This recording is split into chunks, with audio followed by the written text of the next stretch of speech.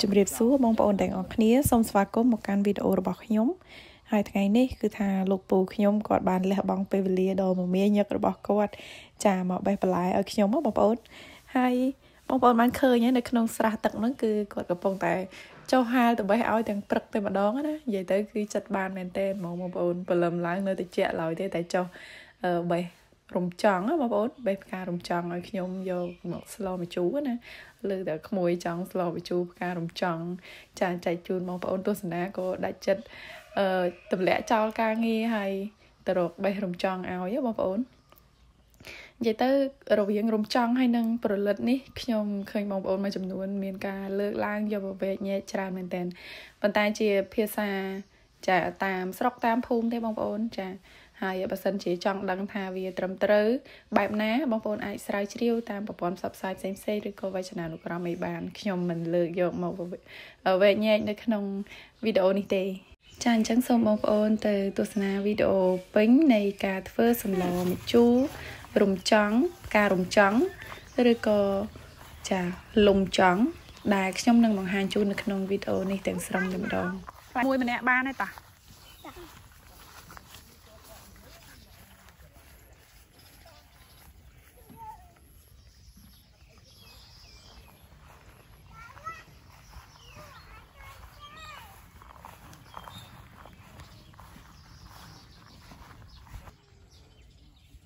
និយាយទៅភូមិរបស់គាត់គឺសម្បូរតំណាំចាមានតាំងពីតបែកគីឡូ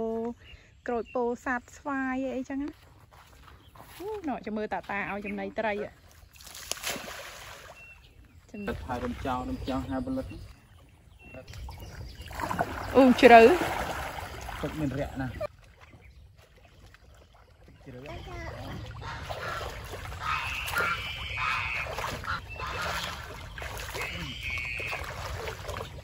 តិចដែរ ទៅម្ដងយើងចាក់ត្រីឲ្យมันពី3ដើមពី3ដើមទេម៉ានម៉ែត្រពូស្រះ3ម៉ែត្រជ្រៅដល់ដីទេផលិតឬក៏រំចង់នេះរំចង់ខ្ញុំច្រឡំផលិតផលិតខ្ញុំហានចង់ដឹងស្អីដែរផលិតរំចង់រំចង់ផលិតចែកគ្នាអត់ដាច់នេះ តាមស្រុកតាមតំបន់អរគុណតានៅទៅលេងស្អីទី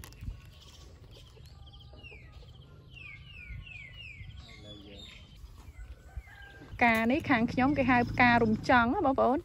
តែឃើញមាន ការវែកញែកជាច្រើនថាផលិតអីចឹងទៅ ចាមានអ្នកខ្លះហៅផលិតអ្នកខ្លះហៅរំចង់អីចឹងណាអញ្ចឹងភាសាតាមអ្នកស្រុកអ្នកភូមិយើងប៉ុន្តែអឺបើតាម វចនានុក្រមបានបែងចែកច្បាស់ពីភាពខុសគ្នារវាងរំចង់ហើយនិងប្រលិតណាអញ្ចឹងបងប្អូនអាចទៅបើកមើលនៅក្នុងវចនានុក្រមបានប៉ុន្តែខាងខ្ញុំគេហៅរំចង់ណាបងប្អូនអញ្ចឹងរំចង់ផ្កាវាក៏មានពណ៌បែបហ្នឹងពេលដែលវានៅកពុំគឺអញ្ចេះហើយនៅពេលដែលរីកទៅក៏មានពណ៌អញ្ចឹងណាចាពណ៌រាងស្វាយអញ្ចឹងទៅហើយដើមវាអឺក៏មានពណ៌ស្វាយដែរគាត់ថារំចង់នេះ វានៅទឹករាងជ្រៅអញ្ចឹងហើយដើមវារាងសទឹកល្អគេថាទឹកល្អដើមសទឹក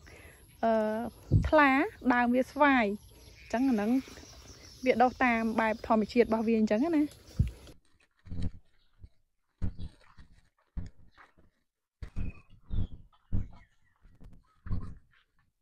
រំចង់នេះគឺវែងមែនតែនហ្មងឃើញស្រាប់អីខ្ពស់ជាងខ្ញុំទៀតនេះ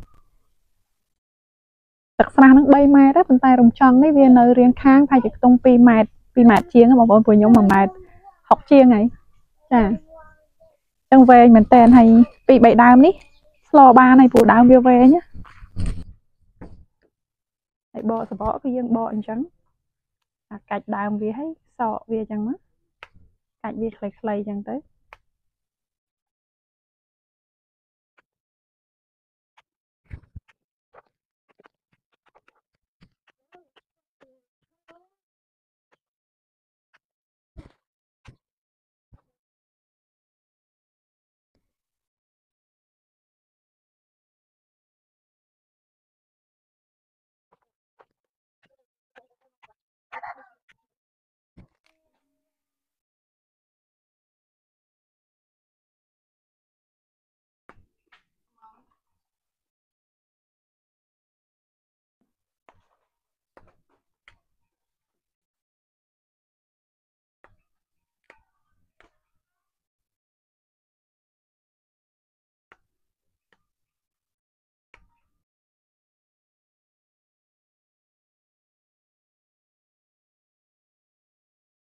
ស្លវាជាមួយស្លឹកអំពិលណាបងប្អូនមកជូរត្រួយអំពិលយើងហ្នឹង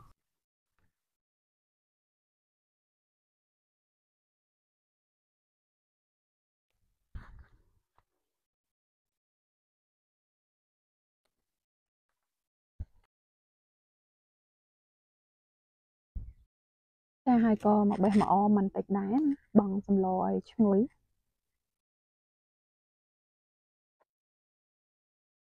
ចឹងមកកញ្ច្រែងនេះគឺជាគ្រឿងដែលយើងត្រូវយកមកស្លមកជូរបន្លែរំចង់របស់យើង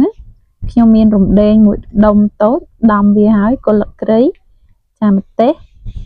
ស្លឹកអំពិលត្រួយអំពិលបងប្អូនហើយបន្លែរបស់យើងគឺរំចង់នឹងឯងជាមួយនឹងម្អមស្រស់ស្រស់ហើយខ្ញុំស្លវាជាមួយនឹងត្រីឆ្ពិនដែលដាក់កំពឹសបន្តិចដែរចាអញ្ចឹងមានប៉ុណ្ណេះទៅមើលពីវិធីស្លទាំងអស់គ្នាបងប្អូន ទឹកសម្លខ្ញុំបានពុះហើយ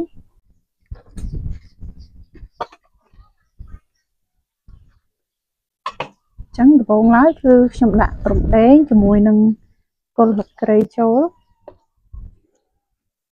បន្តមកទៀតគឺខ្ញុំបង់ត្រី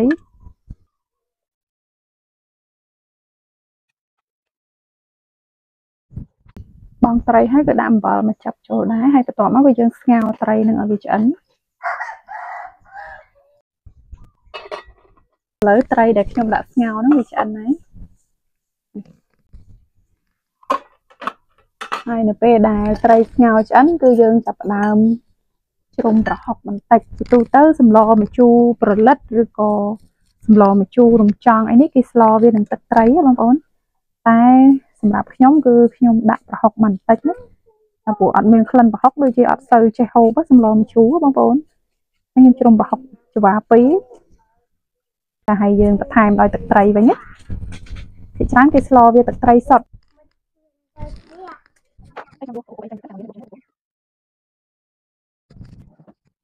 តមកគឺខ្ញុំដាក់ទឹកត្រីស្ទើកន្លះវែក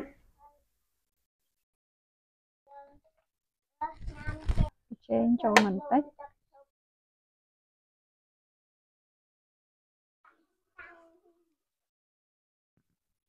តមកគឺខ្ញុំដាក់កំពឹសចូល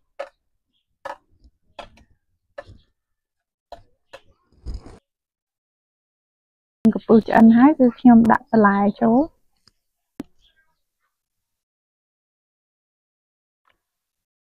ហើយស្របពេលហ្នឹងពេលដែលដាក់បន្លែហើយគឺខ្ញុំដាក់ត្រួយអំពិលឬក៏ស្លឹកអំពិលហ្នឹងចូលក្នុងពេលតាណាគ្នានឹងដែរ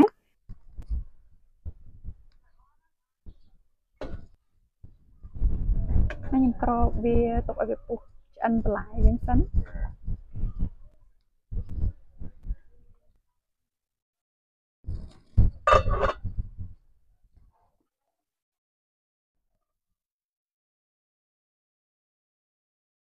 បើនៅពុះឡើងឆ្អិនហើយបន្លែ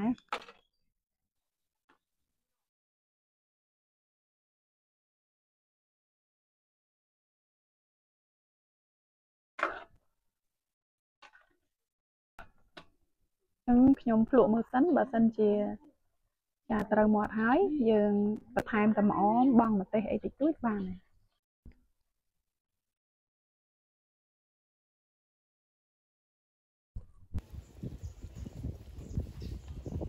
នឹងឆ្អិនរួចរាល់ឥឡូវខ្ញុំដួសជូនបងប្អូនមើលនិយាយពីក្លិនឡើងឈ្ងុយ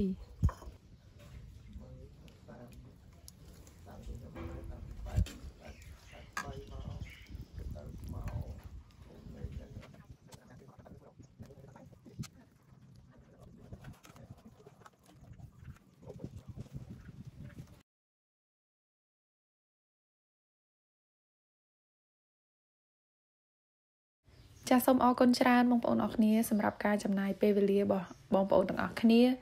មកមើលវីដេអូរបស់ខ្ញុំជូនពរបងប្អូនសំណាងល្អជួបគ្នាជាមួយខ្ញុំនៅវីដេអូក្រោយទៀតជម្រាបលា